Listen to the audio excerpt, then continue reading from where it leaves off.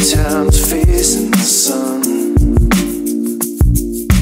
Too many tears stuck in my eyes.